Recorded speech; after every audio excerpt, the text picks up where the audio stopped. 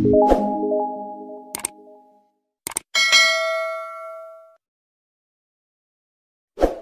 কর্মফল। কর্মফল প্রতিজন মানুষকে পেতেই হবে। যদি আপনার কর্ম ভালো থাকে, আপনাকে ভালো ফল আপনি পাবেন। যদি আপনার কর্ম খারাপ হয়ে থাকে, আপনাকে এই জন্মে আপনাকে আপনার কর্মের ফল আপনাকে পেতেই হবে।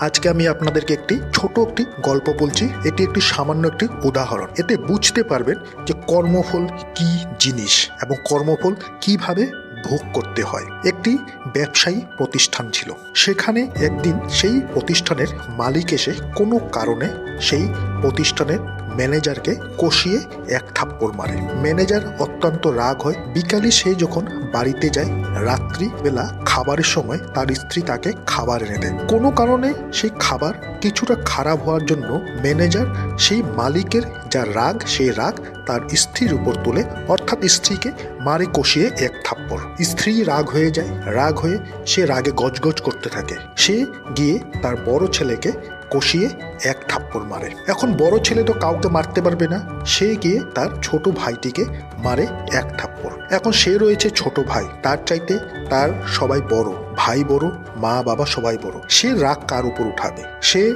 বাড়ির থেকে বাইরে চলে গিয়ে সেখানে দেখে একটি কুকুর বসেছিল। সে রাগে তার ভাইয়ের চট মারা, রাগে সে কুকুর থেকে জোরে একটি লাথি মারে। কুকুরটি তখন ছুটে গিয়ে দৌড়ে পালিয়ে যায়। পালিয়ে গিয়ে সে কুকুরটি রাগে একটি লোককে পায়ে কামড়ে দেয়। সে লোকটি কে ছিল?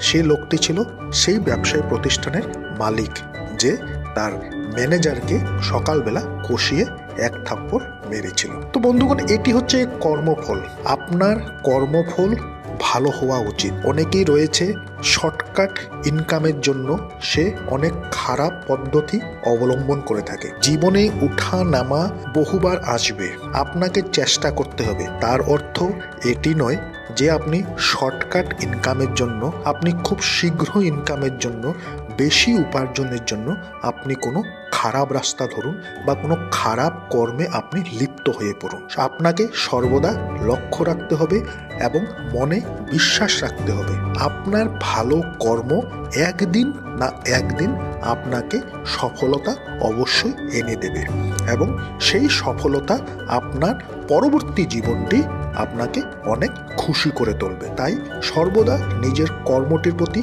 ধ্যান দিন এবং কর্মকে ভালো রাখার জন্য সর্বদা চেষ্টা করুন এবং ভালো কর্ম আপনাকে ভালো সফলতা অবশ্যই দেবে। আশা করি ভিডিওটি ভালো লেগেছে। ভালো লেগে থাকলে ভিডিওটিকে লাইক এবং শেয়ার অবশ্যই করুন। যারা আজকে চ্যানেলটিতে নতুন রয়েছে, চ্যানেলটিকে সাবস্ক্রাইব অবশ্যই করুন।